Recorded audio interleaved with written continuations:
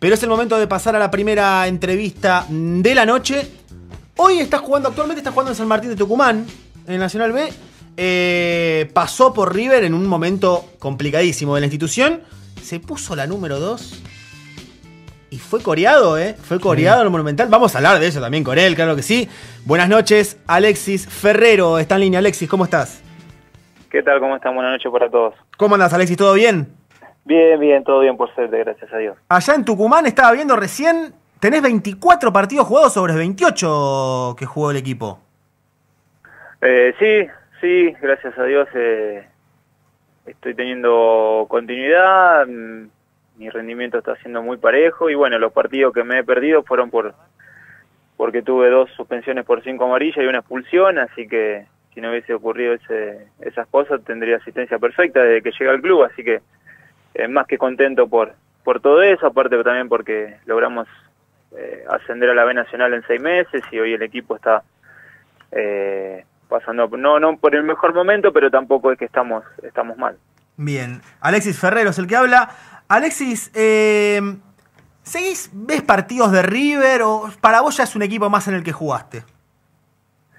No, me gusta mirarlo, me gusta mirarlo porque, eh, bueno, Marcelo fue, fuimos compañeros, eh, con Johnny todavía seguimos en contacto, Maidana, eh, a Piti lo conozco de cuando se empezó, hizo su primera pretemporada en Huracán, así que eh, tengo afecto por ellos y, siempre es bueno ver verlos. Aparte me gusta el fútbol así que así que miro. Pero bueno cuando juega River eh, siempre trato de mirar y bueno ahora seguramente cuando cuando vengan acá a Tucumán eh, ya he hablado con los chicos y bueno voy a ir a, a, pasar a, saludarlos a visitarlos a llevarles algún obsequio y, y charlar un ratito bien o sea que Vos decías, sigo hablando con, con Jonathan, con Maidana. O sea, a pesar del momento complicado del club en el que estabas, quedó una buena amistad.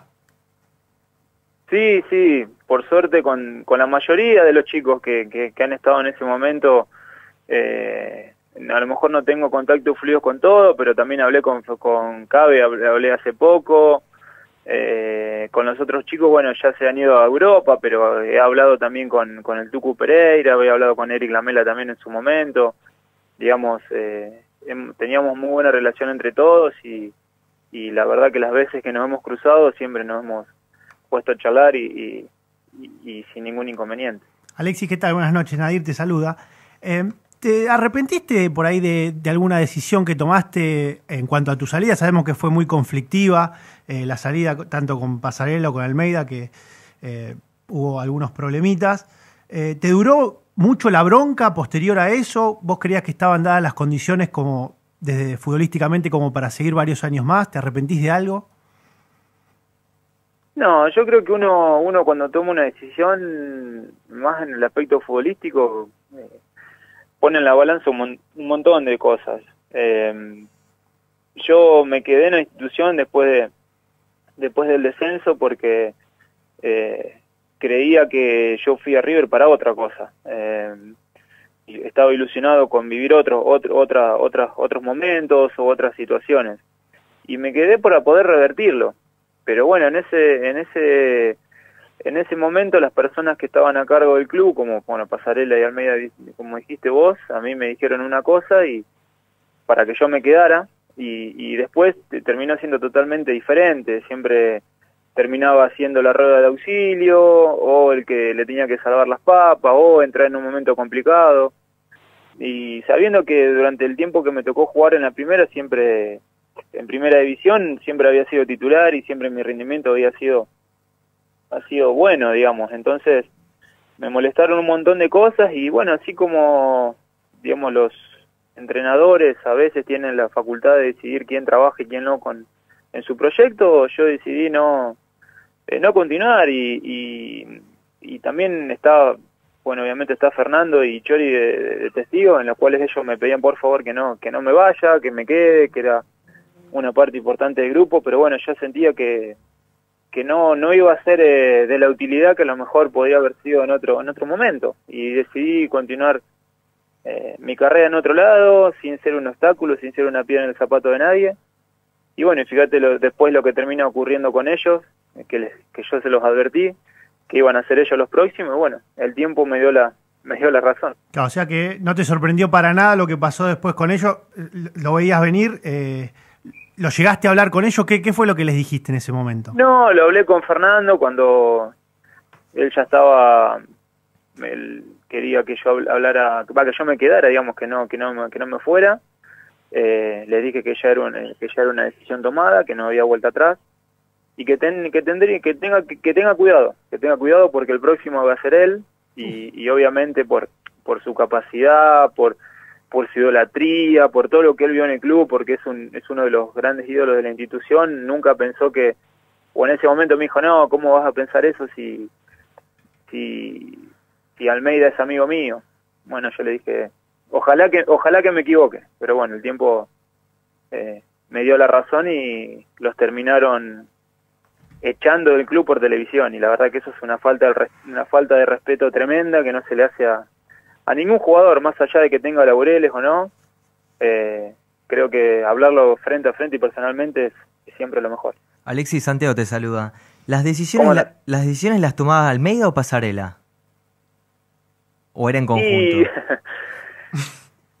no sé la verdad que eh, no, no te sabría decir, pero que sí había un poco de... En mi caso personal, eh, yo he tenido varios, tuve varios encontronazos con, con Pasarela en su momento y, y seguramente me han pasado factura esas, esas situaciones, pero, pero no me arrepiento porque también me, me pasaron en Colón cuando me fui y después me terminó el tiempo dando la razón que yo no tuve nada que ver, hoy Leche está procesado, enjuiciado, no puede salir a la calle, digamos, el tiempo pone todas las cosas en su lugar y, y, gracias a Dios yo puedo mirar a la cara a, todo el mundo y decir lo que pienso de frente y nadie me va a venir a, a, tratar de, mentiroso ni mucho menos.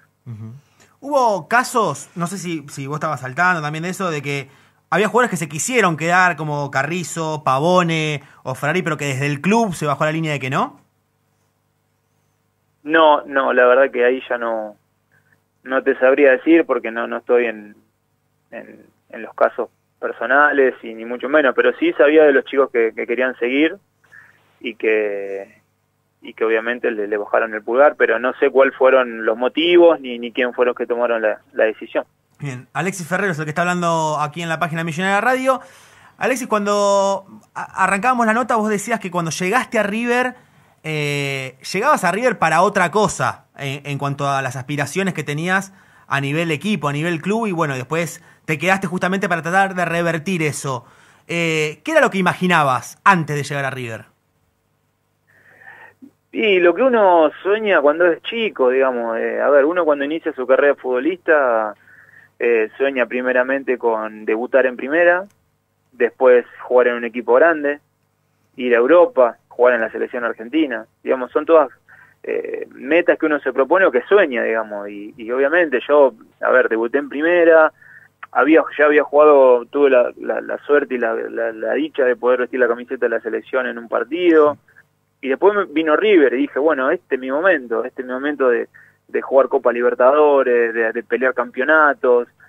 Y, pero bueno, no se dio, no se dio y, y, hoy tengo un, cariño, un afecto muy grande porque y me pongo contento por las cosas que le pasan a River, porque bueno, hay gente que conozco y gente que es buena leche y que y que ha pasado por momentos difíciles y que le esté yendo bien, la verdad que me pone me pone muy feliz por ello.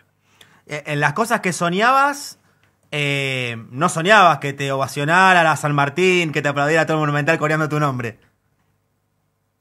No, no, la verdad que eso no lo, no lo esperé ni siquiera el día que ocurrió, digamos. Eh, pero creo que, que, la gente de River siempre ha valorado eh, mi entrega, mi, mi, dejar todo dentro de la cancha, defender la camiseta muerte. Y, bueno, fue, fue eso que lo que creo que ese día fue lo que incitó a la gente a, a, que coreara mi nombre y bueno, es un recuerdo que, la verdad que voy a tener para toda mi vida.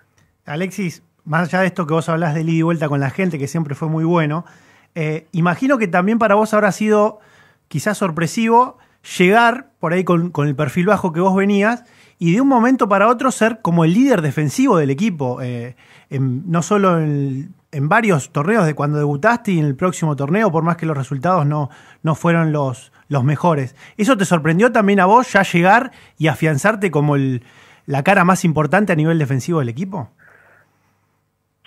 No, a ver, em, uno, uno llega con, con esperanzas de, o con sueños de, jugar, de consolidarse, de, tener la dos en la espalda, o bueno, o el número que te toque, pero ser titular. Y bueno, se fue dando, se fue dando, eh, gracias a, a lo mejor a mi personalidad, porque en la mayoría de los clubes que estuve o que he estado, eh, he tenido ese grado de importancia o relevancia dentro del grupo.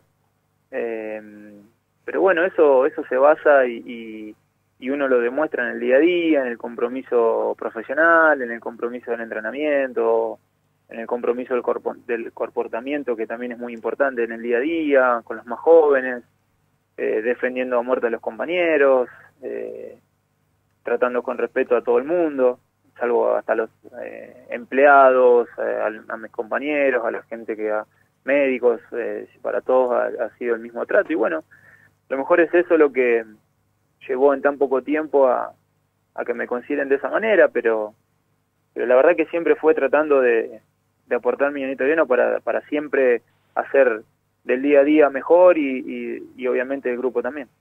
¿Te cruzas con hinchas de River y te dicen algo o, ya pasó ese momento en el que, eh, vos sos Ferrero? Todavía hoy, gracias a Dios, todavía hoy me, paran eh, hinchas en la calle y acá en Tucumán también, obviamente. Eh, que, o que andan con la camiseta de River o que son de River y se sacan una foto. Y la verdad que eso es algo, para mí me llena de orgullo porque ya hace eh, seis años, creo que siete años van a ser, eh, que, me fui del club y, que bueno, que la gente todavía hoy por hoy, algunos todavía te, te reconozcan, es, eh, es muy lindo. Hoy Alexis habló Jonathan Maidana con la prensa eh, y en un momento se refirió a su condición física. Eh, Jonathan está con una sinovitis que, le complica estar el 100%. Eh, vos que lo conocés a él, ¿qué, ¿qué, tan importante crees que es Maidana a pesar de no estar al 100% físicamente? A ver, Jonathan, desde que llegó al club, siempre ha demostrado su capacidad, digamos eh, no vamos a, descubrir nada si te digo que es un, tipo líder positivo, eh, un jugador que se que se entrega eh, que se entrega al 100%, más allá de más allá de que a lo mejor como decís vos no estar al 100% por por alguna lesión que lo está molestando. es un tipo de, de los pesados, de los importantes, de lo que pusieron el pecho en momentos complicados y, ha salido ha salido airoso y, y la revancha le vino todo lo bueno. Entonces, la verdad que esa clase de jugadores me, me gustaría tenerla siempre en mi equipo porque son los que dan todo a pesar de que a lo mejor no estén de la mejor manera posible y, son cosas que, que seguramente Marcelo está rescata porque sigue siendo titular inamovible, indiscutible, eh, segundo capitán o subcapitán del equipo y, la verdad que eso eh, para él debe ser un orgullo enorme y, te voy a repetir, quisiera tenerlo siempre con jugando al lado mío, como no. Alexis, otro con los que compartías ese plantel era Ramiro Funes Mori, que estaba haciendo sus, sus inicios, digamos, en su carrera. Eh, ¿Cómo lo ves? ¿Cómo lo fuiste viendo? Ya de ese momento parecía que, podía ser un, jugador tan importante de selección. Eh, ¿Cómo lo, lo, fuiste viendo vos y qué te parece su presente? Y Ramiro ya tenía, ya tenía muchas, eh, muchas cualidades que lo iban llevando de a poco a, aparecer en la primera River, es más, eh, él, cuando, cuando yo me voy, él agarra la titularidad y, desde ahí empieza su, su, eh, su, carrera, digamos, en, siendo titular, consiguiendo objetivos y, obviamente después consolidándose, jugando a la selección, eh, convirtiéndose en un jugador eh, europeo. Sí, pues digamos, fue, terminó siendo tu reemplazo eh, cuando vos claro, te fuiste. Claro, él era mi reemplazo. Y bueno, cuando yo me voy, él toma la eh, toma la titularidad y después de ahí fue todo, todo ascendente para él. Y la verdad que se lo tiene recontra merecido porque es un, es un pibe muy muy ubicado, muy correcto, que nos escuchaba eh, siempre cuando tratábamos de, de, darles alguna enseñanza, digamos, o algún consejo de lo, del puesto, y, y, laburaba muerte, así que la verdad que se lo tiene recontra merecido y, seguramente su, eh, su carrera seguirá siempre ascendiendo porque, te voy a repetir, es un jugador que, que no, no escatima en esfuerzo, siempre va a estar 100%, es buena gente, así que no, no, no creo que, que su carrera sea un techo ahora donde está, seguramente va, va a seguir creciendo muchísimo. Hay gente en Twitter eh, que le deja su mensaje a Alexis. Octubre dice: Yo lo rebanco. Alexis dejó todo por la camiseta. Los hinchas de River eh, le guardamos afecto. Bueno, algo de lo que, de lo que hablaba también este Alexis Ferrero hace un ratito. Alexis, ¿y Poncio siempre tuvo ese rol de líder en el vestuario así como se lo ve ahora? Eh, repetime porque no, se te cortó justo. Sí si Poncio siempre tuvo ese rol de líder, de, líder en el vestuario, así como se lo ve ahora, que bueno, ahora justamente es capitán, ¿no? Eh, mira, no, no, no, no compartí yo con, con Poncio plantel porque yo cuando me fui en diciembre él llegó con Trezeguet, llegaron los dos refuerzos, fueron los dos refuerzos que llegaron para la segunda parte del campeonato de la B Nacional eh, y no, eh, no, no compartí vestuario con él, así que no, no te podría dar una, una opinión formal porque no lo, no lo conozco, digamos, no, no tuve trato ni, ni relación con él. Hay pregunta acá también de, otro hincha. Nicolás, eh, si volviste a hablar o cruzarte, bueno, eh, con Almeida o Pasarela. No, no, nunca más. No, no, no. Menos mal, ¿no? No, nunca más. Y si tuvieras la oportunidad de encontrártelos, le dirías... Y creo que no. y creo que no tendrían ganas de encontrarme. Pero si, si, tuvieras la oportunidad de encontrártelos, ¿les dirías algo? No, no, no, no, porque lo que yo tengo que decirlo ya lo, lo, se los he dicho a ellos en la cara, digamos, no. Eh, no, no es que me quedó algo por decir. Claro. Todo lo que yo he dicho después de que yo me fui de River son cosas que previamente se las dije a ellos personalmente y en la cara, no no, no, no acostumbro a mandar a decir, a mandar a decir nada o a hablar por, por detrás, digamos, así que eh, no, seguramente me esquivarán o me mirarán para otro lado, harán de cuenta como que no me ven. Y Alexis ya por ahí podía sospechar que podía ser complicado el tema. Eh, yo leí en una nota que dijiste que la primera reunión con Pasarela para arreglar el tema del contrato y demás duró varias horas, que en tu casa te esperaban para cenar y no llegaste ni al postre. Eh, ¿ya presentías de ahí que podía ser un tipo difícil?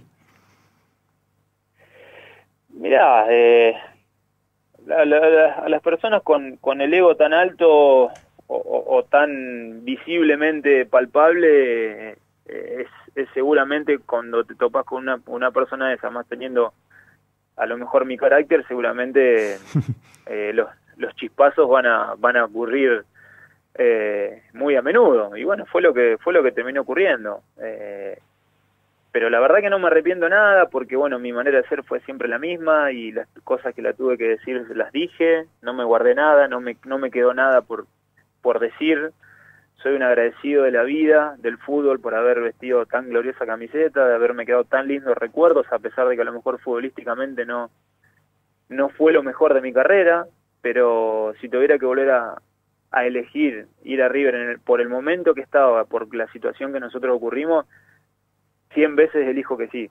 Elijo volver, elijo volver a ponerme la camiseta en ese momento y, y, entregar todo como lo como lo que lo que hice nada más. Eh, siempre fue para para beneficio de la institución, lo poco o mucho que he dado dentro del campo. Clarito, Alexis Ferrero. Yo, perdón, pero tengo que preguntarle esto. Leíamos en esa nota en la que recién el turco mencionaba que estuvieron siete horas reunidos. Estabas vos, tu representante, el presidente. ¿Qué, ¿Es siete horas? ¿Siete horas imposible que estén hablando? ¿Siete horas estuvieron ahí adentro? Y se hizo largo, sí. Se hizo, se hizo un poco largo porque, bueno, yo estaba volviendo de, de la pretemporada con Colón en, el Mar de Plata eh, estaba volviendo en avión y cuando aterrizo en Buenos Aires, en Aeroparque, mi representante me había ido a buscar y me ha dicho, mira, me llamó Pasarela, tenemos que irnos rápidamente para la, la oficina del Monumental, quiero hablar con vos.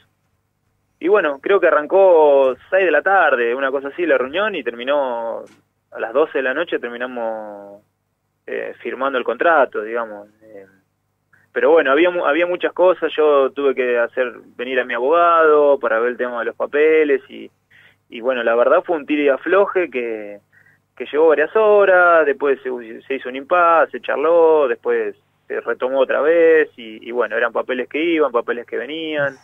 Yo todavía tenía contrato vigente con Colón, así que también era una situación que ella tenía que resolver eh, mi salida contractual de Colón, así que fue por eso creo que se tornó un poquito eh, más, se tardó más de lo normal, digamos. Pero, y, y, la reunión de cuando te fuiste no duró tanto, ¿no, Alexis?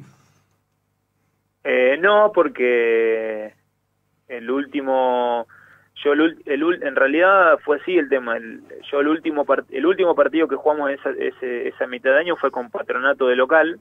El gol de Sánchez. Un domingo, un domingo a la noche, creo, a la tardecita. Y a mí me comunican el domingo a la mañana el técnico que no iba a jugar. Yo había venía siendo titular eh, los partidos, hacía varios partidos de atrás para, para la fecha. Eh, y me dice que no voy a jugar porque estaba en juego su estaba en juego su puesto y que no sé qué y bueno un montón de versos que obviamente eh, no lo tomé de la mejor manera las cosas que se las tuve que decir se las dije y le dije que desde ese momento yo no iba a volver no iba a volver más mientras él esté. Eh, y bueno fue así lo que sucedió. Terminó el partido recorrí, recogí mis cosas de, de la institución saludé a todos los empleados del club y dije que no, no volvía más y así fue lo que pasó, no volví más, hablé con el vicepresidente, con Diego Turnes, le dije que quería rescindir el contrato, que me quería ir. Y así fue lo que pasó, fue sencillamente eso y, y bueno, me fui, nada más. Bien. Eh, ¿Te quedó algún souvenir, camiseta de River, no tuya? Quizás de un compañero o mismo de un rival eh, que hayas tenido vos jugando para otro equipo. Sé que quiero que después lo cuentes si vos te acordás, creo que en el 2000 enfrentaste a River, el 3 a 0 que gana River contra Ferro. Sí, sí. el equipo gallego, sí. Un equipazo. Un equipazo. Sí. Estaba Saviola, Aymar y vos te quedaste con una camiseta de uno de esos cracks, ¿no? No, yo me quedé, me quedé con la camiseta de Gustavo Lombardi. Ah, ah. O sea, te, vos tenías para elegir, ¿no? Saviola, Aymar, fuiste por la de Lombardi. No, porque es, es una anécdota que fue con el paso del tiempo.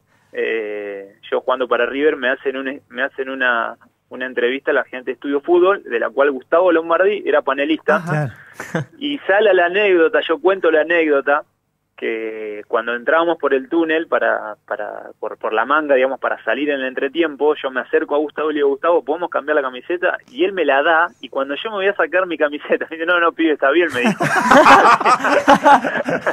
y, y bueno, después se la conté a él, y bueno, obviamente se puso todo colorado, imagínate, en televisión, todos riéndose, pero pero obviamente que, que, en ese momento capaz que le estaba yéndose rápido porque había terminado el primer tiempo, no es que había terminado el partido, y, y bueno, yo me acerqué ahí como un pibito, digamos, obviamente, mirando esos monstruos, el salir, y bueno, el primero que me quedó a mano era Gustavo, y bueno, le pedí la camiseta a él, y, y después eh, con Gustavo nos hemos cruzado y nos hemos reído de, de esta, de esta anécdota tan linda. Bueno, Alexis, te agradecemos por la nota, te mandamos un abrazo. Por favor, usted hasta cualquier momento. Ahí pasaba Alexis Ferrero.